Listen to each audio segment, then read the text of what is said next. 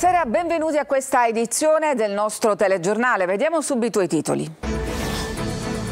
Uccise la fidanzata, ergastolo annullato perché era stressato dal Covid. Fa discutere la sentenza della Cassazione sul femminicidio di Lorena 40. Turisti preoccupati per la carenza d'acqua, gli albergatori denunciano un calo del 25% di prenotazioni. Sabotaggi e incendi alla discarica di Bellolampo per il presidente della RAP, le ripercussioni saranno sullo smaltimento dei rifiuti, non sulla raccolta. Lo stretto di Messina, patrimonio UNESCO, l'appello di Lega Ambiente che ribadisce il suo no al ponte. Se non ti porto, non parto. Al via la campagna della Polizia di Stato contro l'abbandono degli animali in estate. Calcio, un gol di Di Francesco restituisce il sorriso al Palermo. Dionisi soddisfatto dei progressi visti con il Monza. Da Lecce arriva il Rosanero Blin. In Serie C il Catania cerca rinforzi in attacco. Ravasio della Lucchese tra gli obiettivi.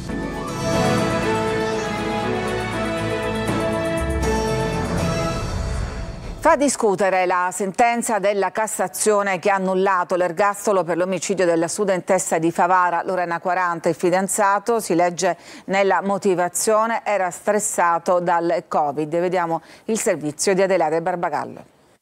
Continua a suscitare scalpore e polemiche la sentenza della Corte di Cassazione che ha annullato l'ergastolo per il femminicidio di Lorena 40, la studentessa di medicina originaria di Favara in provincia di Agrigento. Si dicono addolorati e indignati i genitori della giovane strangolata in una villetta di Furci Siculo in provincia di Messina il 31 marzo del 2020 dal fidanzato, l'infermiere calabrese Antonio De Pace, che ha confessato. Precedente inquietante e pericoloso per le associazioni antiviolenza. Era stressato dal Covid, questa è la motivazione popolazione. Il femminicidio si verificò nella prima fase della pandemia ed è proprio a quel periodo particolare che per i giudici bisogna guardare. Nelle motivazioni si legge i giudici di merito non avrebbero verificato se la specificità del contesto, il periodo Covid e la difficoltà di porvi rimedio costituiscano fattori incidenti sulla misura della responsabilità penale.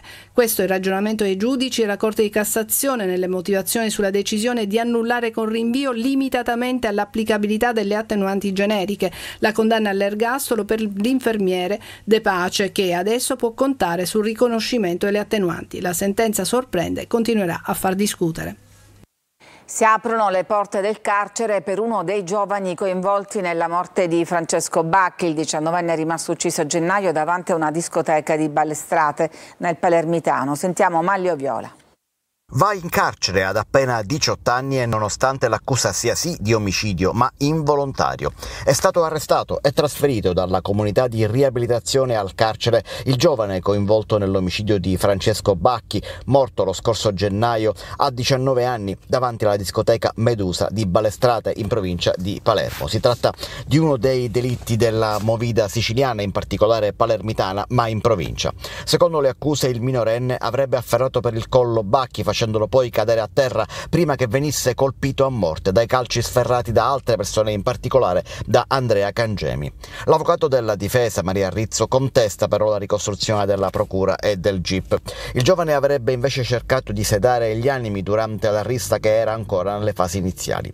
Nei mesi scorsi per questa stessa rissa erano stati arrestati altri tre ventenni che facevano parte dei due gruppi che si scontrarono all'esterno del locale prima che il tutto finisse in tragedia.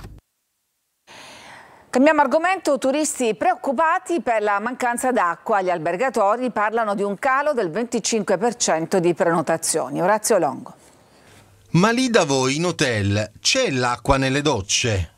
L'idea di un terzo mondismo siciliano senza elettricità e senza acqua corrente fa breccia nelle domande di alcuni turisti stranieri che al momento di prenotare, senza ironia ma sinceramente preoccupati dalle notizie che compaiono non solo sulla stampa nazionale ma anche su quella d'Oltralpe e d'oltreoceano sulla crisi idrica, sui blackout, sulla spazzatura agli aeroporti con la cenere, per non parlare della criminalità, chiedono se effettivamente sia garantita almeno l'acqua corrente negli hotel.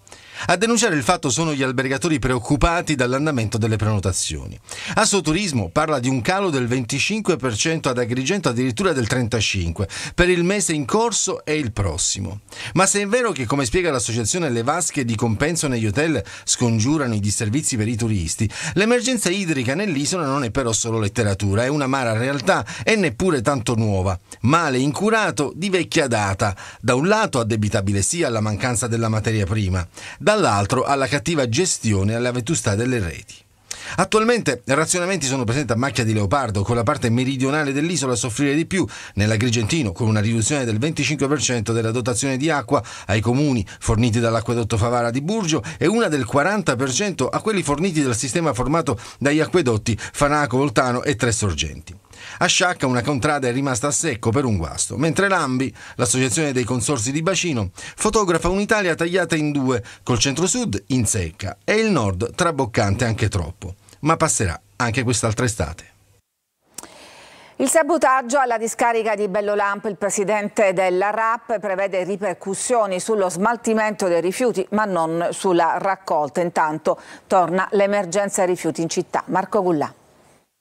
Impianti sabotati, ancora una volta emergenza alla discarica di Bellolampo a Palermo. I danni sono stati scoperti dagli operai della RAP che hanno trovato alcuni perni allentati, la manomissione e sparizione di alcuni componenti elettrici e danni al trituratore inferti con una pala o forse un cacciavite. Un danno che potrebbe alimentare l'emergenza rifiuti nel capoluogo siciliano. Nessuna ripercussione sulla raccolta dei rifiuti, ha però detto il presidente della RAP Giuseppe Todaro, mentre ci sarà qualche ritardo sulla lavorazione. Una linea è ripartita subito. Infatti, mentre l'altra speriamo di farla ripartire domani. Il presidente della RAP ha poi aggiunto: già siamo in una situazione emergenziale, adesso pure questi sabotaggi, ma io non mi arrendo. E in effetti le ripercussioni sono ben visibili in alcuni quartieri cittadini con rifiuti che stazionano da giorni sui marciapiedi. Nelle periferie della città alcuni residenti hanno accatastato i rifiuti, anche straordinari, per sgomberare le strade. È una lotta, dice Todoro, ma se qualcuno pensa di intimidirci non ci riuscirà. Stiamo cambiando le cose, stiamo cercando di trasformare Belolampo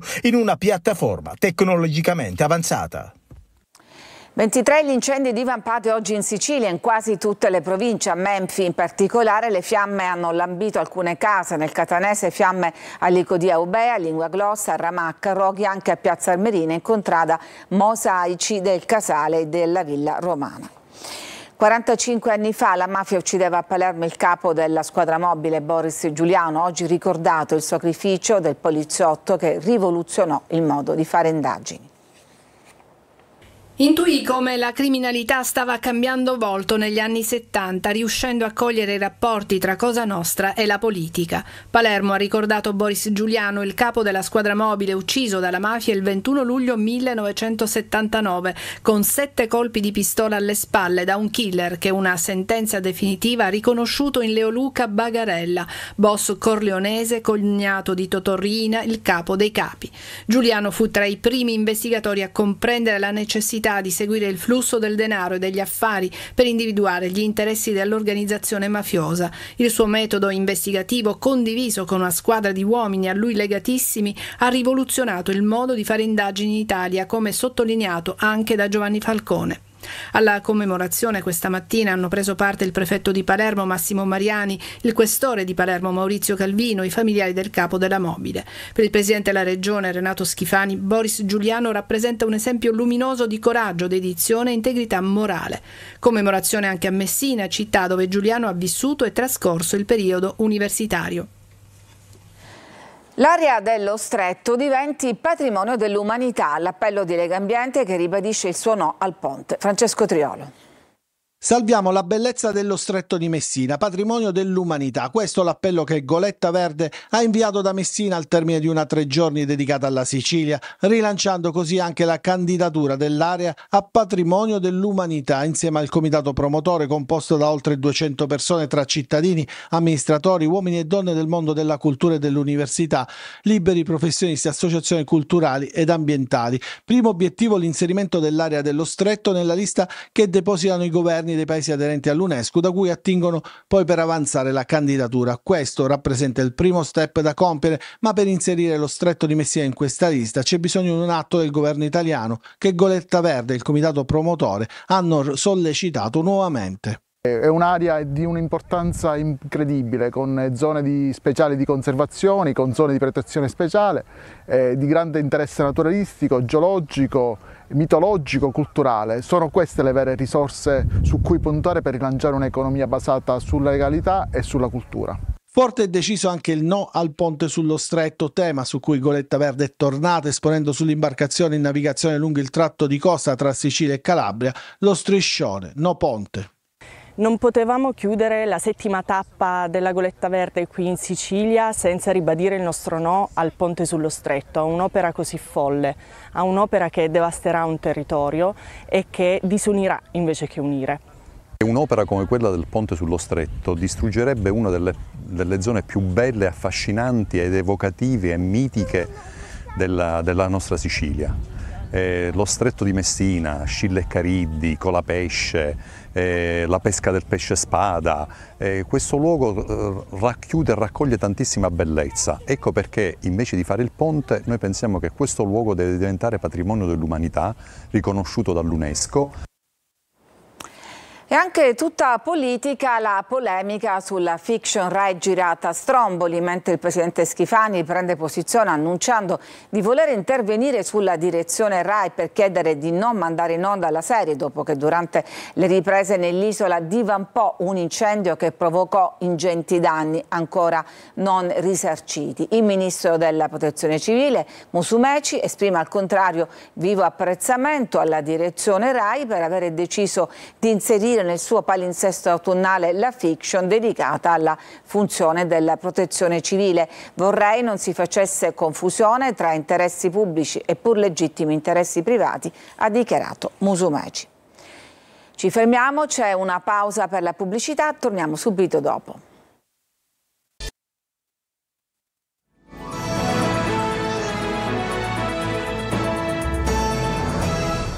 Se non ti porto, non parto. Al via la campagna della Polizia di Stato contro l'abbandono degli animali, soprattutto durante le vacanze estive. Giussi Lazzara.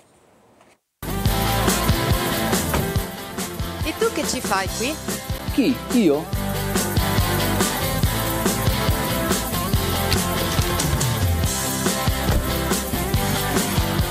Se non ti porto, non parto. Abbandono degli animali soprattutto in estate, questo lo spot della polizia per la campagna nazionale per combattere il fenomeno. Ogni giorno ci sono 127 animali lasciati sul ciglio di una strada o in una zona isolata. La denuncia dell'EMPA, l'ente nazionale per la protezione degli animali. La polizia così è impegnata non solo a fornire soccorso, ma suggerisce come trasportare l'amico cane o gatto in sicurezza. Il codice della strada in questo è molto chiaro. Un singolo animale d'affezione può essere trasportato all'interno dell'abitacolo libero a patto che naturalmente non interferisca con le attività di conduzione da parte del conducente. Più di un animale invece deve essere necessariamente trasportato nel vano posteriore dotato di apposita griglia o rete divisoria, altrimenti i più classici trasportivi. La polizia con questa campagna ricorda anche che se si vede abbandonare un cane di chiamare i numeri d'emergenza per avvisare le forze dell'ordine. Il regista Giuseppe Tornatore è stato l'ospite dell'ultima giornata del Taormina Film Festival con la proiezione del documentario Diario di Uttuso dedicato appunto al pittore siciliano. Razio Longo. L'epoca della grande attività creativa, così la definisce Giuseppe Tornatore, l'epoca di Sciascia, Buttitta, Guttuso, il suo Renato Guttuso, quello del documentario che il regista di Nuovo Cinema Paradiso aveva realizzato nel 1982 e che è stato presentato a Taormina per la giornata conclusiva del Film Festival. Ma io non lo rivedevo da almeno 40 anni per cui mi ha fatto, mi ha fatto un certo effetto. Intanto ci ho ritrovato vabbè, tutti, tutti, i difetti dovuti all'irruenza della, della, passione giovanile quando fai le cose, ma quello che mi ha proprio colpito è, è proprio quel mondo lì, loro, grande, il grande privilegio che hanno avuto di vivere un, un clima che noi non conosciamo e forse non conosceremo mai. Il racconto di un personaggio, ma anche di un mondo completamente cambiato. Ecco, Tuso parlava del suo rapporto con Picasso come se fosse un suo parente, però questo rapporto di parentela era un rapporto appunto fertile, un'epoca in cui la tessitura, l'aver vissuto insieme un'epoca di eh, attività creativa. Tu dirai ma oggi questo non c'è, c'è, però è diverso Sta facendo molto discutere un articolo del New York Times che proclama l'America capitale della pizza di qualità. I siciliani saranno d'accordo? Francesco Aloi. Ma tu volevi la pizza, la pizza, la pizza. La pizza migliore del mondo è in America. Un'affermazione che sicuramente se eravate seduti vi avrà fatto fare un salto, ma non è nostra. A dirla è il New York Times, che qualche giorno fa ha definito gli States capitale della pizza di qualità. La pizza è nata in Italia, per cui non non, non, penso che sia adesso diventata l'America, la capitale della pizza. La pizza è quella napoletana, quella siciliana, la nostra pizza. Si tratta di un articolo che cerca di fotografare la rinascita delle pizzerie negli USA, attività che soprattutto tra i giovani stanno riscuotendo una PIL sempre maggiore e che in un certo senso non sono più legate soltanto alla tradizione italiana, ma di tutto il contenuto dell'articolo, quello che è rimasto più impresso agli italiani italiani è il titolo. Hanno leggermente torto. Perché? Perché la pizza migliore sicuramente è in Italia. Siamo sempre noi i migliori, in assoluto. Lei cambierebbe la pizza italiana con quella americana? No, no, no, no completamente, non c'è paragone. Nonostante tutto, però, nessuno potrà mai cancellare le origini di Sua Maestà, la pizza. Nata a Napoli nel XVIII secolo, è simbolo di italianità nel mondo, un mix di colori e sapori a cui è difficile resistere. Facciamo una buona pizza, usiamo una farina buona e lievito madre tutto naturale. E allora, signore e signori, questa è la pizza italiana Buon appetito! Ci fermiamo, c'è un'altra pausa e poi torniamo per parlare dell'amichevole del Palermo e dei movimenti di calciomercato. A tra poco.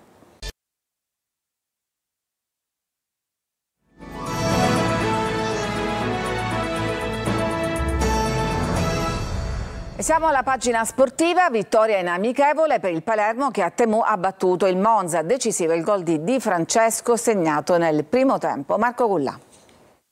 1-0 e passi in avanti. Il Palermo vince l'amichevole contro il Monza, formazione che parteciperà alla prossima Serie A e inizia a registrare notevoli progressi. Se la sconfitta contro i dilettanti svizzeri aveva creato qualche malumore, il successo contro la compagine di Nesta permette al Palermo di riprendere il cammino. Decisivo questo bel gol di Di Francesco, segnato nel primo tempo. Da prendere non solo il risultato, ma anche la buona prestazione difensiva. Tre più sottotono invece Matteo Borghi Brunori che non è mai riuscito a entrare in partita. Esordi anche per Nicolau ed Henry. Siamo un pochino più avanti perché abbiamo iniziato prima, infatti la partita precedente la squadra svizzera era più avanti di noi a livello di condizioni e questo in queste partite può fare la differenza ma la differenza è stata quello che abbiamo fatto in fase difensiva e di questo sono molto contento, fermo restando che è più facile quando giochi una squadra più forte che rispetti, che conosci e lo dovremo riportare nella prossima e in campionato e allora sì che ci divertiremo. Mercato è fatta per il centrocampista Blin che arriva da Lecce, il capitano giallorosso ha deciso di scendere di categoria e dire sì al club rosanero. Nei prossimi giorni l'ufficialità per il centrocampo piace anche Martegani del San Lorenzo, Difesa De Santis non molla, Ferrari del Sassuolo. E il Catania prosegue la trattativa con Merola e sempre per l'attacco ha richiesto Ravasio alla Lucchese, mercato fermo invece a Messina, Trapani su Tremolada. Sergio Colosi. Attacco cessioni sono i temi attuali e futuri del Catania che prosegue la trattativa con Davide Merola, conteso soprattutto dal Bari, dove l'esterno realizzerebbe il desiderio di giocare in Serie B. Lo stuzzica però anche il progetto Catania e l'offerta del club rossazzurro potrebbe vincere la concorrenza della società pugliese. Nessun passo in avanti per l'Escano, mentre nelle ultime ore è circolato il nome della punta Mario Ravasio, il cui cartellino è della Lucchese nell'ultima stagione protagonista con il Sorrento di 12 reti in 38 gare, seguito anche dal Taranto. Faggiano lavora tanto sugli esuberi. In ritiro presenti 21 calciatori dell'anno scorso e almeno 12 dovrebbero lasciare il Catania. Ad alcuni proposta la soluzione della rescissione contrattuale. Curado verso Pescara, Taranto di nuovo su Welbeck. Il ritiro del Messina Zafferana Etnea inizierà martedì 23 sotto i peggiori auspici. Sciotto contestato ad oltranza, trattativa lontana dal concludersi e un paio di calciatori in organico. In arrivo alcuni under, il portiere Curtosi, il terzino Pistolesi, retrocesso con Fermana e Montegiorgio e i centrocampisti Pedicillo e Anselmo. Il Trapani, che presto potrebbe abbracciare il terzino destro Manuel Ricciardi, cerca con insistenza il trequartista Luca Tremolata, in uscita dal Modena Modena sarebbe il fiore all'occhiello di una buona campagna acquisti. È tutto per questa edizione, grazie per averci seguito, vi auguro una buona serata.